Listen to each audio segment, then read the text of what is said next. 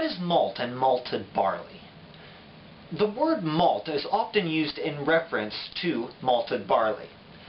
Malted barley is a partially germinated barley seed that has been halted by drying or roasting. This malted barley is the basis of beer. The word malt is also used when speaking of the fermentable sugar that is extracted from the malted grains. Malt extracts, both liquid and dry, are both produced from the same extracted sugar solution created after mashing the malted barley.